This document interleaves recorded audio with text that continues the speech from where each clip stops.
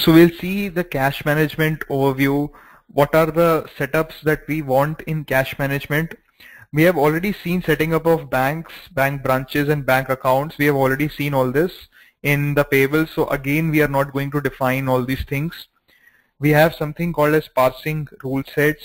We have bank reconciliation tolerances, bank reconciliation matching rules and transaction creation rules. So we, these things we will see.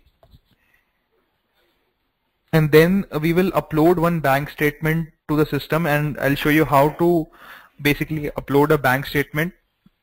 It is similar to your FBDI process. So we'll upload one bank statement to the bank account that we had created the other day and we will try to reconcile that bank statement with the transactions. So bank account model, we had already seen that you have banks on the top and then you have bank branches and then you have bank accounts. So you can create the bank in the first step and then you can create the bank accounts, bank branches and bank accounts. So we have already seen all this bank branches then you have bank accounts. I will quickly open the bank account once that we created. So you have this define cash management and banking configuration. So I'll say set up banks, bank branches and bank accounts. So I'll open the bank account.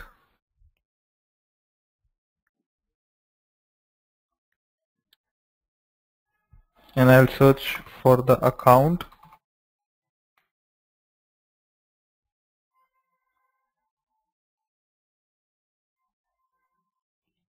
So this is the account that we had created. I'll click on edit.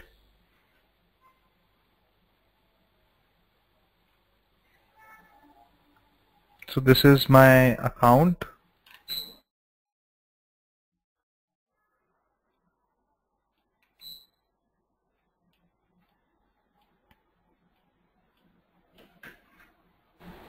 And then these were my controls.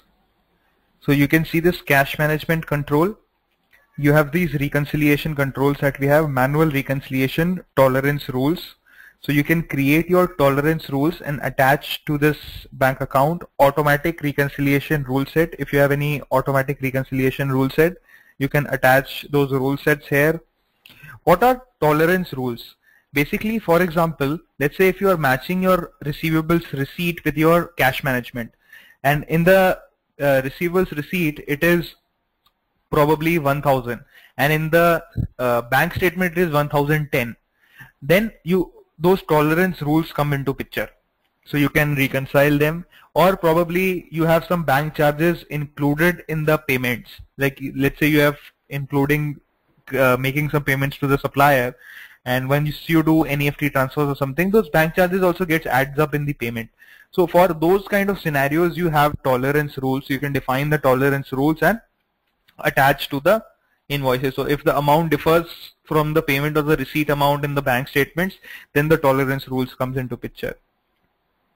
And then what is the bank exchange rate type? So you can define the exchange rate, reversal processing period, and all these things. Then we have parsing rule sets. So I will explain parsing rule sets when we come to that.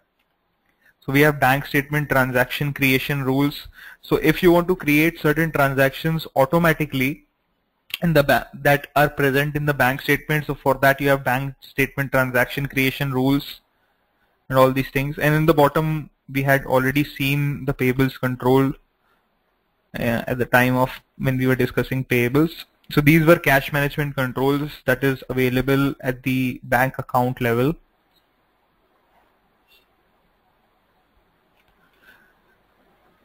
Account number? How did we give apps2fusion account? Let me just give any account number here.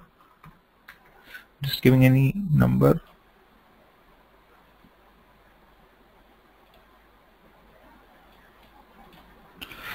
Okay we'll just save this.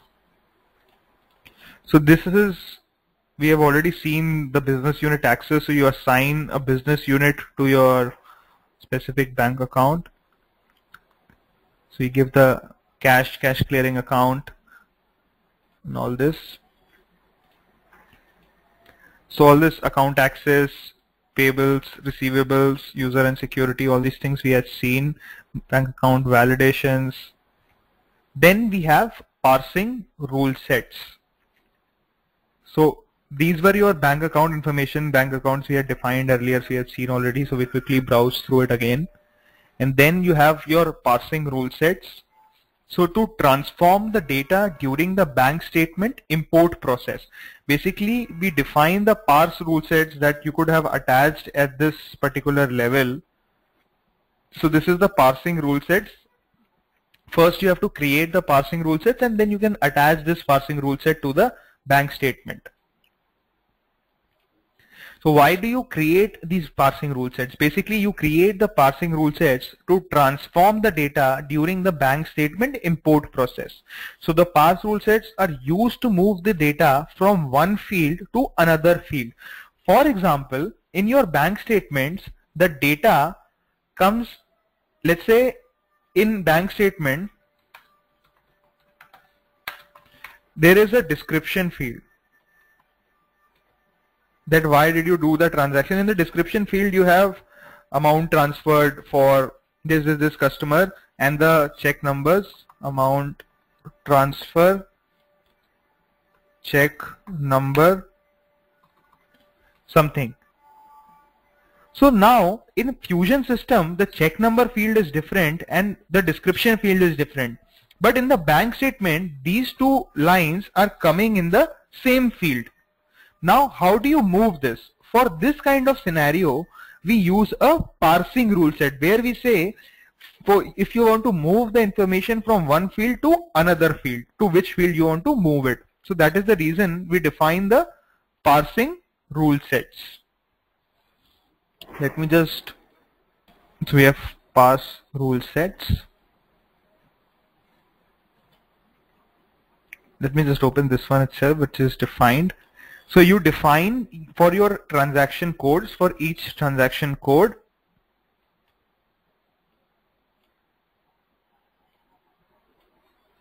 and then you have source field and your target field. What is the source field and what is the target field? So from this particular field, if you say description field to move to the check number field, so you can give the source field and the target field and transaction code you have to define each transaction code before this. So transaction codes are nothing but basically to recognize for which transaction it is, like whether it is a deposit, whether it is a withdrawal, whether it is a check transaction, whether it is a NEFT transaction. Basically, these transaction codes each bank will give you. Like you can have different types of transactions. So all the transaction codes bank will give you, and these are standard transaction codes used across to across different banks and all. So in most of the banks, these transaction codes would be similar. Like for making the check payment, the transaction code would be 451 or something. So they will be having those kind of codes for everything. If you have received the money through NEFT transfer, they will be having a transaction code for that. And then there is this override option. So basically override option is something when you overwrite the transactions as in like if this target field already has some value and you say overwrite it that means whatever is the tar target field uh, information will be there that will be overwritten by the source field. Because you have said the source field should transfer the data to the target field and you have said overwrite it. But if you disable this checkbox source field will transfer the data to target field only if it is blank but if it is not blank, if some data is there, it will not be overwritten. If you disable this checkbox, if you enable it, it will overwrite it. So this is your basically parsing rule sets that you have. And then you can attach these parsing rule sets to the bank account like we had seen. So you can attach it to the bank accounts.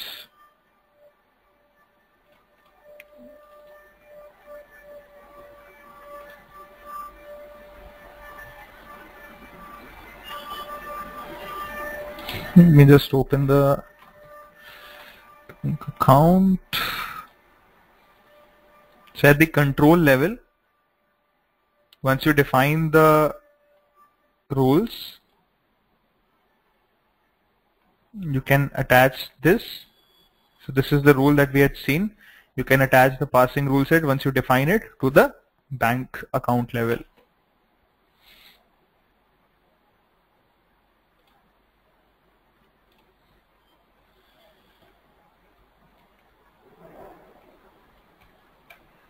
Then we have tolerance rules. What are tolerance rules are? Tolerance rules enables you to specify the date and amount tolerances that prevent or warn you when the reconciliation would breach a defined tolerance. So there are two types, date tolerance and the amount tolerance rules. Basically when the invoice, um, the receipt amount or the payment amount does not matches your transactions or what is the transaction in your bank statement. If it doesn't matches, then in those scenarios, you can define the tolerance rules.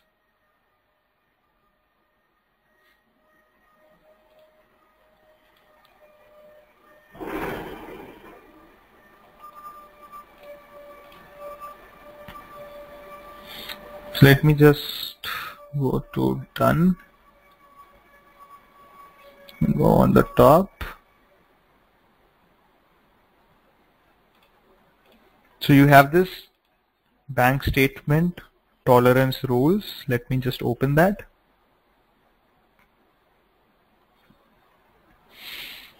Click on plus.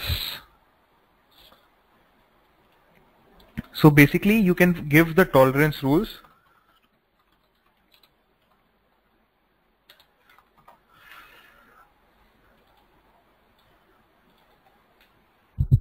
So you can give the amount tolerance, date tolerance and percentage amount tolerance.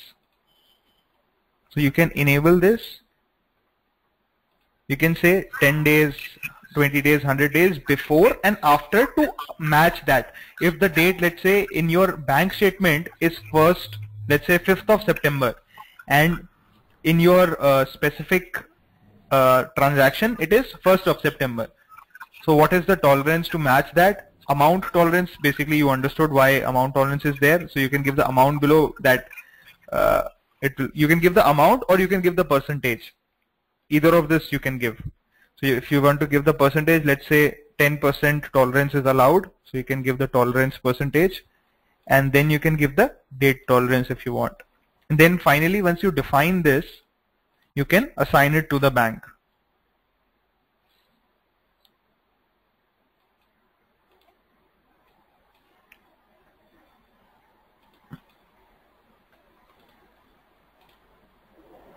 I did not enter this value. And then you can go to the bank account. And then you can select the tolerance rules. Did not get save.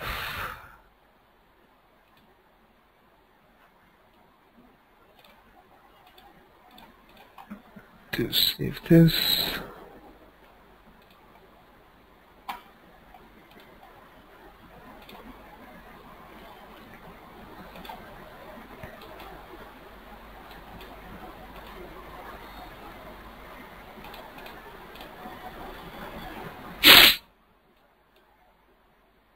for some reason it is not coming. It is active and saved. It would take some time to come. This A2F tolerance rule is coming. And it is active.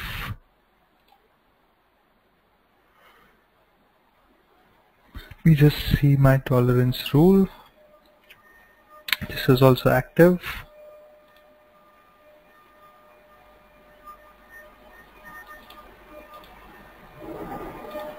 we'll just see it in some time once we probably save and close and cancel this we open it again and we can attach this. So this is how basically you will create the tolerance rules. Here there is no reference set or anything. This is not because of reference set. This is just because of saving or something. Probably you will sometimes you log out and log in again and then it would come. It is active. Unless and until it, it, it just needs to be active. If it's not active then it will not appear. In our case it is active only so it should appear basically. So like this you will define the tolerance rules.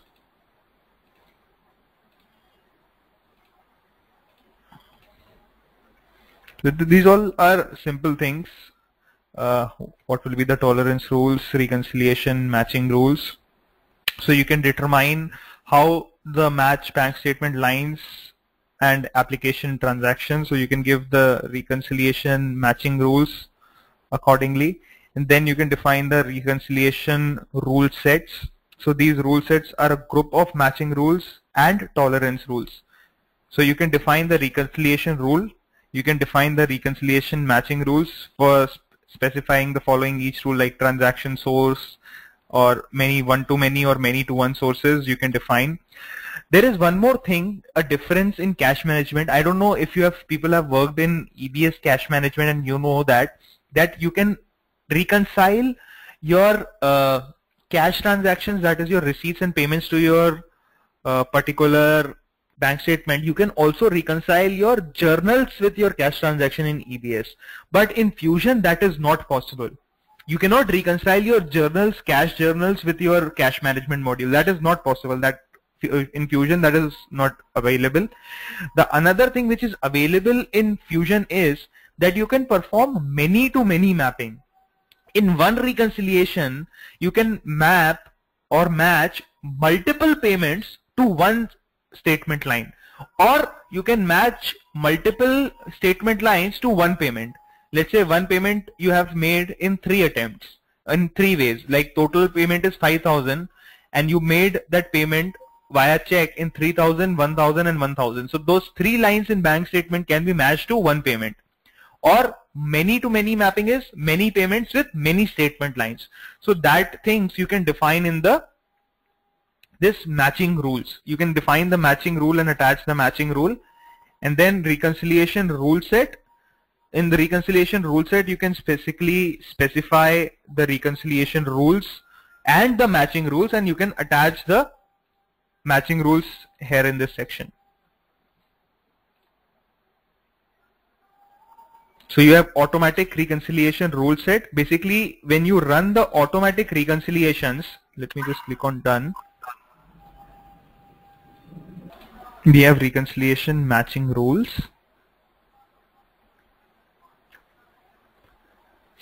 just open this rule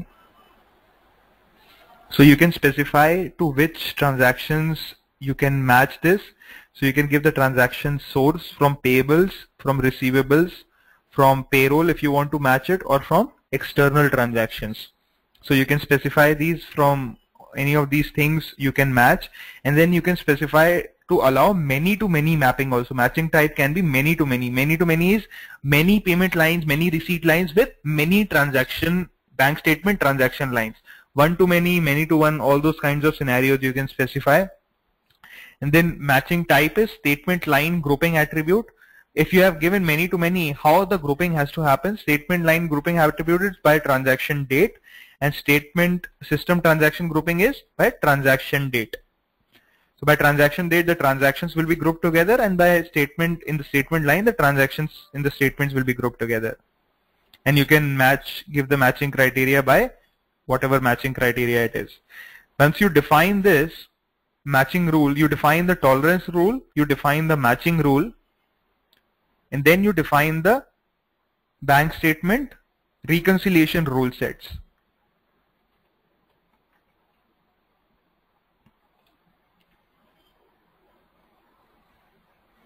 So reconciliation rule sets are nothing but you attach the click on edit.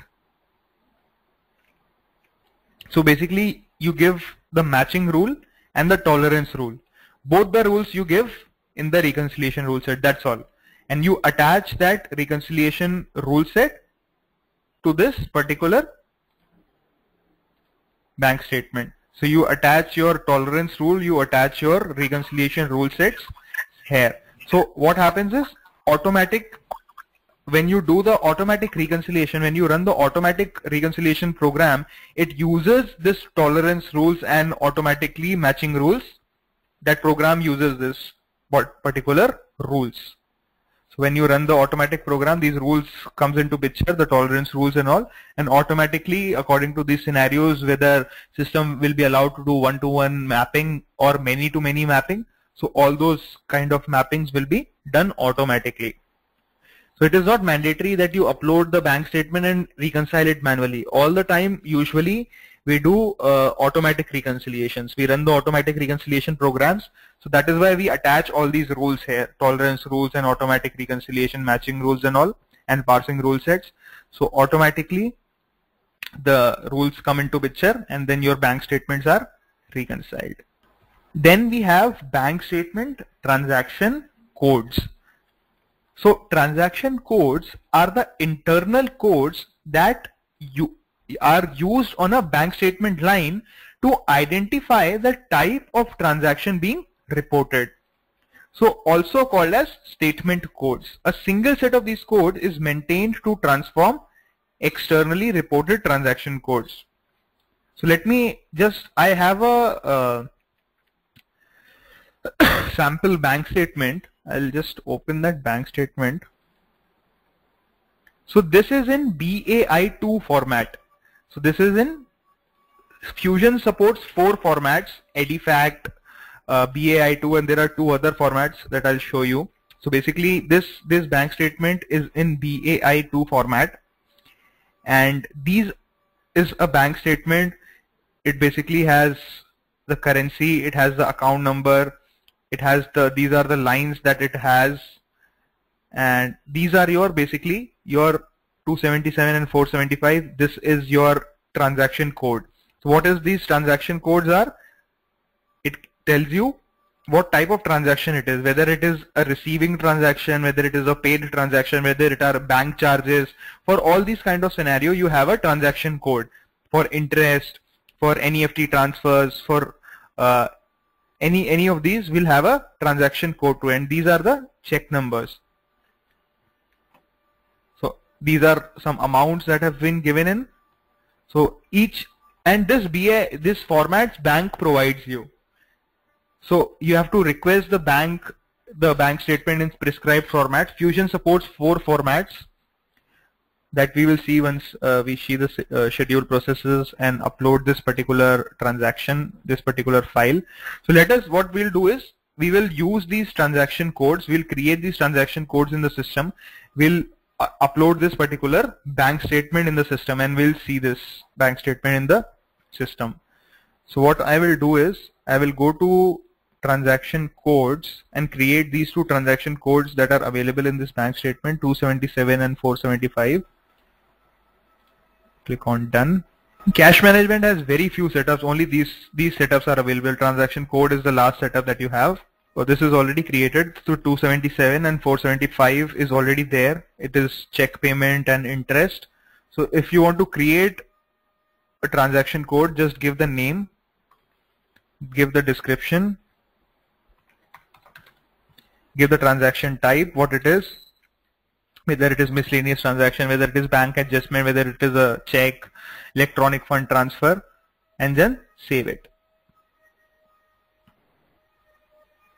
So it is saying the 277 code already exists. You cannot create it again. So basically you just give the number and the you give the description and the transaction type. System automatically understands it. So now what we will do is we will upload this transaction. So we have currency as USD. Since our transaction codes 277 and 475 are already created, I will use this bank account number. I'll copy this bank account number and I'll update this particular notepad. So this is my bank uh, account number and I'll update this and I'll change the currency of this particular bank statement and I'll save this and then what I will do is I will convert this into a zip file. So I'll convert this particular bank statement after I'll just save it again. And I'll say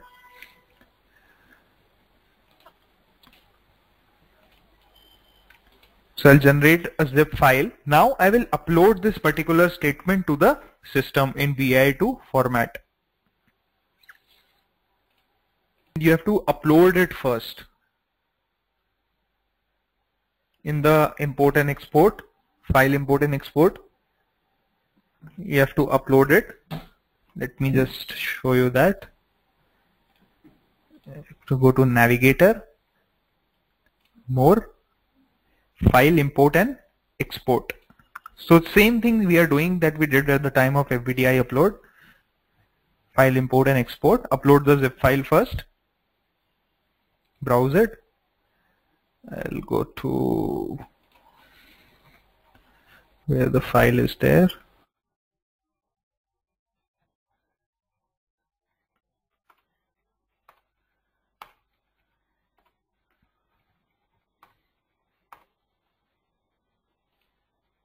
And then what will be the account that we will use is we have to use financial cash management import. For this it is not provided any Excel or anything but usually yes. So uh, where account is given is your in your FBDI templates only you can see or in the front page of the Excel you can see for FBDI uploads. And then for this I'll go to schedule processes. After uploading it you have to run. What did you do you remember the program name that we have to run for FBDI same program we have to run here also.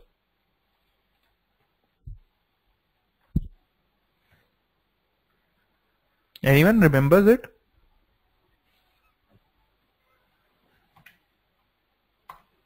It is load interface file for import. Click on OK.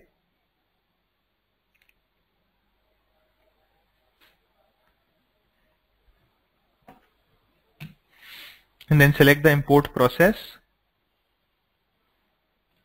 So you have four, five formats that is available here. You have Swift MT940, BAI2, ISO this format for this and then you have EDIFACT format for bank statements. So you have four formats, Swift 940, EDIFACT, BAI2 and ISO 20002. This, this, these four formats are available. As of now, only these four formats are supported by for bank statements. In any other format, you cannot upload it. So we are uploading it in BAI2 format. So I'll select BAI2 and we'll select the data file that we just uploaded and then I'll click on submit.